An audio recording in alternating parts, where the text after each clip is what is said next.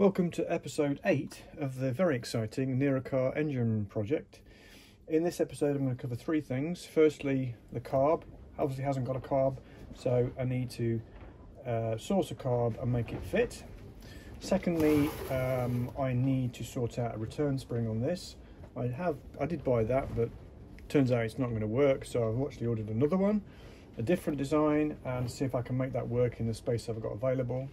And the third thing is I need to set up the ignition timing on this. Now I don't know the exact timing that it needs to be, whether it's 12 degrees before top dead center or 8 or whatever.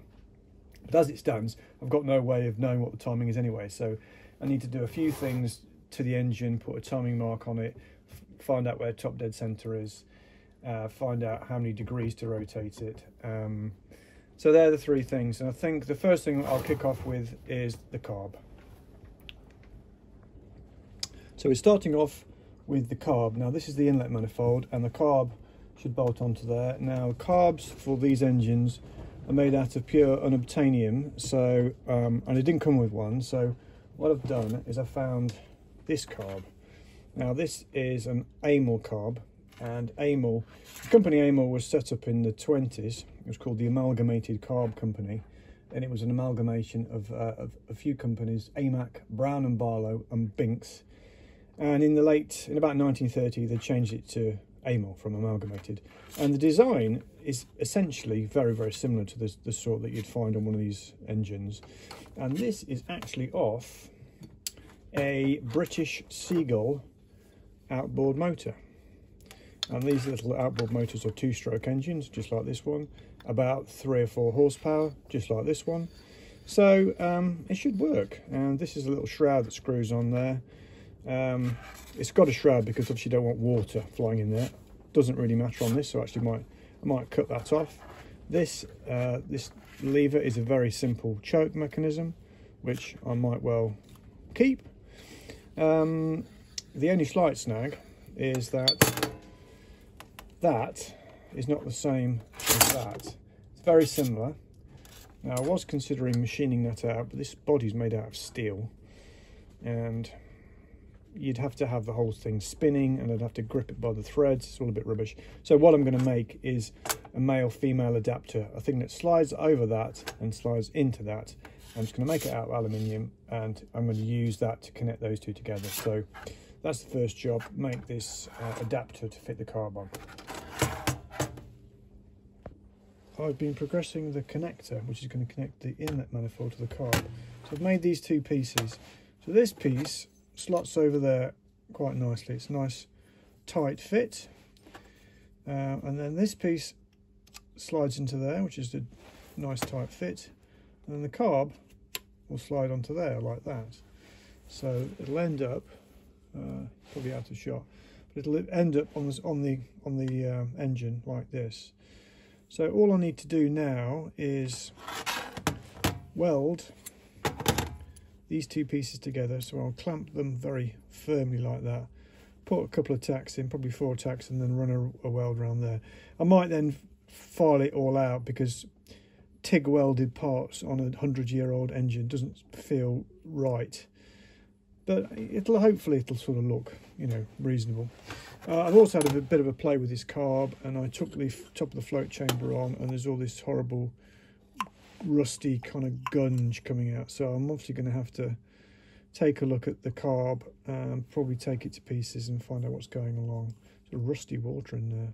It looks all right, but it just needs looks like it needs a bit of a clean. So yeah, next up is to uh, clean the carb, weld that up, fettle it a bit so it doesn't look quite so 21st century. And uh, I'll also have to cut in uh, some slots, some radial slots bit like that's got some radial slots there and I've got to come up with some kind of clamp on there. I don't want to stick a Jubilee clamp on there, it'll look terrible. So I've got to work out how I'm going to clamp that, get a clamp from somewhere. So that's the story so far. So I had a change of plan and I was going to weld those two aluminium parts together. But I thought instead I would use this solder and solder them together. And I bought this from a show and I've used it in the past to work really well. But this time, it didn't. and I completely destroyed those pieces that I carefully machined up and melted them. Um, so then I started to machine up another one to do it again and this time weld it and I thought, you know what, sod it, I'm just going to make it out of solid block. So no welding, no soldering, I'm just going to machine the whole piece out, one solid block. It's going to take ages on my not brilliant lathe, but um, it should look quite nice, be quite satisfying. So yeah, uh, as a wise man once said, you got to fuck about to find out. So I've now found out that that doesn't work. So bit of lathe, bit of quality lathe time coming up.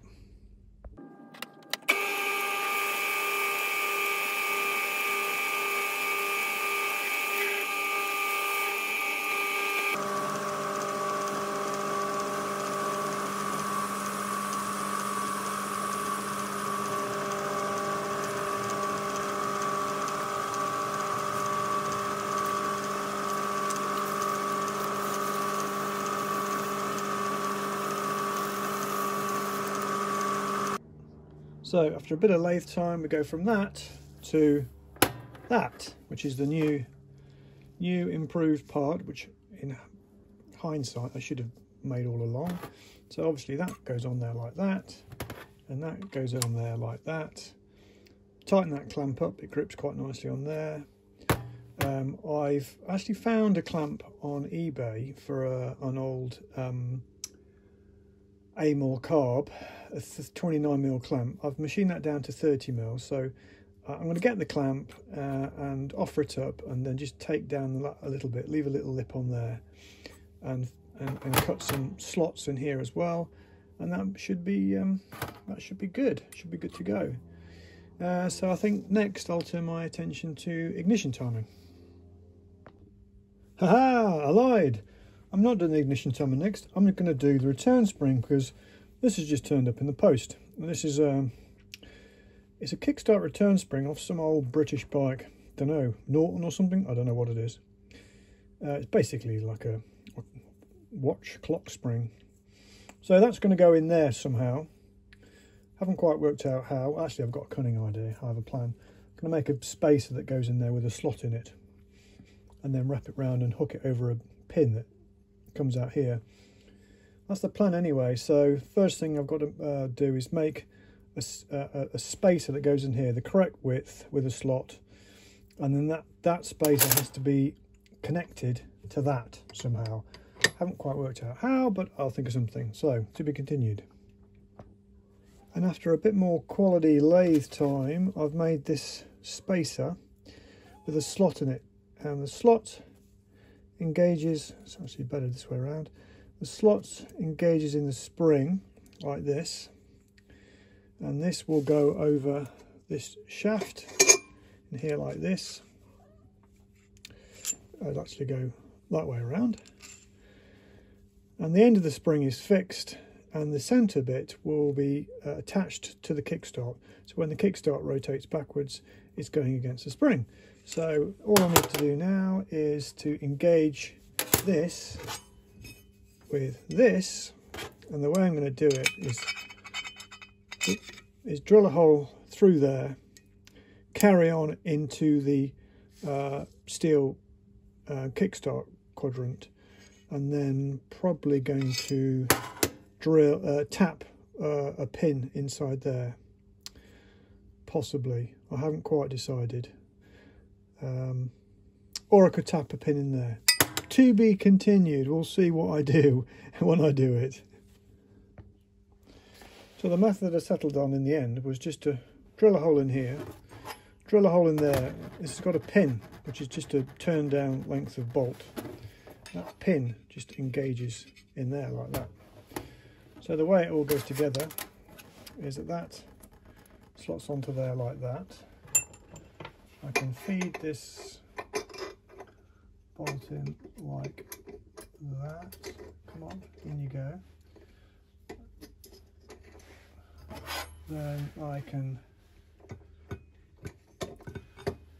kickstart on and engage the pin in the hole. Thread it through. Uh, should just take washer in there Actually, it has two washers in there. Gonna fit two in? No, one will do. Um, spacer goes on there and a nut on there.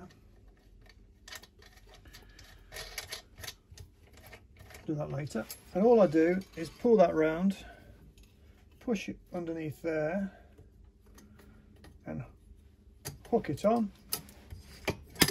And now whole thing is spring loaded. It's quite a nice tension of spring. Bring it back quite nicely. Job done. So the next job definitely will be ignition timing. Now we're finally getting around to talking about ignition timing. So the ignition timing is expressed in a number of degree, degrees before top dead center. So that's BTDC. Uh, so the first thing we need to do is work out where top dead center is. Now to do that, we need some kind of reference point. Um, uh, there can be some position of this flywheel where the piston's right at the very top, but we need to, to mark that. Now we can't mark that. Typically you'd mark it against something like this, but this bit rotates, so you can't mark it against that. So we're going to need some kind of pointer.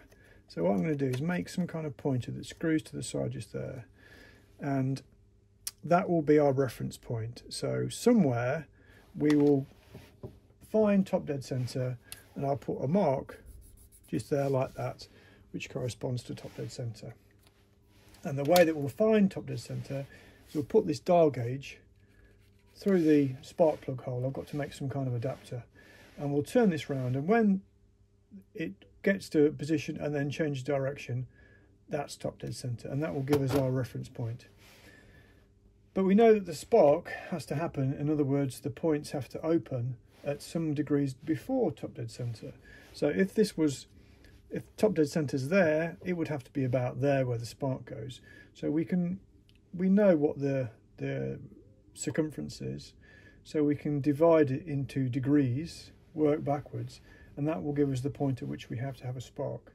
And that's the point where the points open so we can do, connect a simple test up to the points, wire it up, maybe a light bulb or something, and that will uh, give us the point where the the um, the points open. And we'll adjust this so that we're getting the correct number of, of degrees. Sounds complicated? it's not too bad. Anyway, first things first, let's make that and let's find out where top dead center is.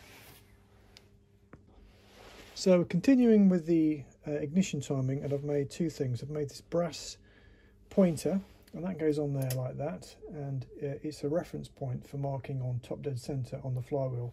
Why brass? Because I thought brass was quite nice and it's sort of in keeping with the whole 100 year old aura of the machine and the other thing I made is this little aluminium top hat and this goes down the spark plug hole and it's got a hole down the middle and inside that is going to sl slot this uh, dial gauge so we can actually monitor the position of the piston as it goes up and down. So the next thing I'm going to do is fit these two.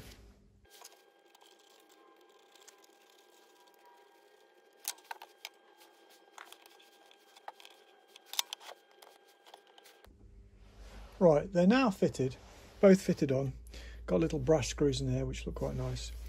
And um, we can use the dial gauge to work out top dead centre. So if I rotate it, you'll see that the dial gauge spins round. It stops momentarily and it goes back the other way. Now that corresponds to the piston being very, at the very, very top. So I can just adjust this round so that it's turning round at zero. Now zero is basically top dead center. And what you can quite, what you can do is, as I'm going round, I can mark on there. I can, as it's going, I can mark 90 just there and I keep on going. And on the way back down it's 90 just there. So that tells me top dead center is going to be pretty much bang in the middle. Just there. So that is now top dead center. I've only marked it on Sharpie. Doesn't really matter what I use. Uh, so now the next step is to work out where the points are opening and closing with respect to top dead center. So I'm going to mark TDC on there. Uh, so next I'm going to set up some kind of test so we know when the points are opening and closing. So now we're going to do a little experiment to work out what the ignition timing of this thing actually is. So I've set the points gap at uh, 10 thousandths of an inch using this feeler gauge, which is quite important because that, that affects the ignition timing. I've set that.